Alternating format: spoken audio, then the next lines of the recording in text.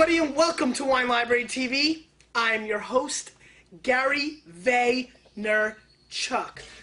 And now, one of the most interesting wines that have ever been on Wine Library TV, and I'm going to explain the whole kit and caboodle to you why.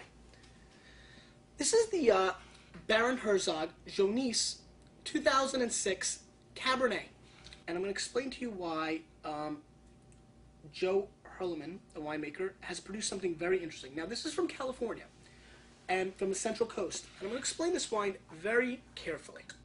I think, had this wine not been a kosher wine, this concoction, let's call it, that it could become one of the bigger phenomenons for a short term, short to medium term, which is five to ten years, of wine in the American wine world. I'll tell you why.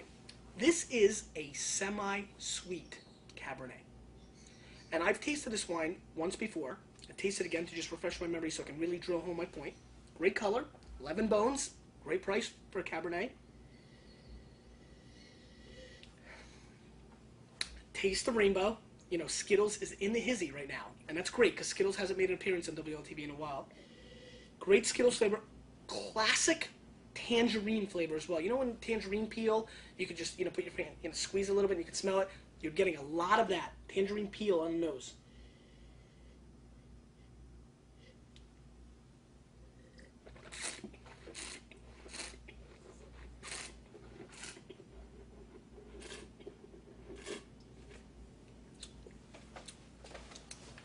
This wine is semi-sweet. It's got a nice black cherry flavor component going on. Really dark raspberry. And the whole flavor profile is extremely jammy and extremely, you know, extracted. Very new world in that matter. It is that level right above. If this wine took one turn down, one turn, in blind tastings it would be mistaken for $60 Barossa Shiraz, for example. Or, you know, because it's got that fruit, you know, those classic fruit bombs have so much of that residual sugar. This has a little bit more than that. However, I believe there is an absolute need out there for a wine of this nature. We have had this discussion lots of times amongst our wine staff.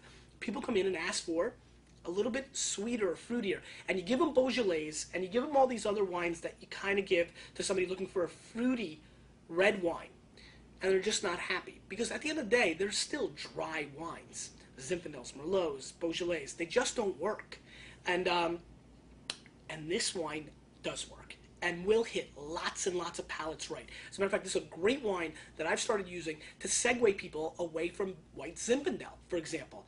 And so they're getting, you know, they're getting a little bit of the best of both worlds. They're still getting their sugar, their sugar fix, you know, and you know you want to keep those guys, people under control. But they're getting some true red wine elements in there. The black currant that comes through a little bit in this, the finish, the structure, the tannins are there much more. And it's a very intriguing wine to me. And really what I said to myself after I tasted this wine was, wow, if this wasn't kosher, and this was a brand out of California that marketed it, had a little fun, this is not too far off to what people are going bonkers over. And I mean like boing over yellowtail. And let's talk about other wines that have a little bit more sugar than their friends in their categories. Kendall Jackson, Chardonnay, another phenomenon. Santa Margherita Pinot Grigio. You following the trend here? Hey, Americans, we like the sugar. Now, I think that's going to change because we're not growing up on soda pop anymore. I'm going south on you there. A little soda pop or pop. We're not growing up on pop anymore. We're a little bit more of a water culture, so I do think see things changing. However, if you've got somebody who likes the sweet stuff, and you don't want to give them the Manischewitz, and you don't want to give them the white Zinfandel, and you want to mix it up and get them into wine a little bit at a very minimal cost. This is the first product that's ever come across my desk. I was stunned, and I was really into it. Again, the cachet of being kosher is going to limit this. And I feel bad for Baron Herzog Winery because somebody else is going to come out and do this, and they're going to be like, what about us?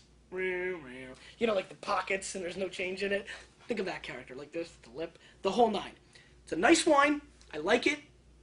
It's an 85 point wine for me. I mean, it's nothing life changing, but the flavor profile and the kind of wine it is is very interesting. And just from like the business of wine standpoint, for me, it's very intriguing. And most importantly, I think there's a lot of people. I, I know that every one of you who's watching right now has that person in their lives that needs to try this wine, and they're gonna love you. They're gonna love you good.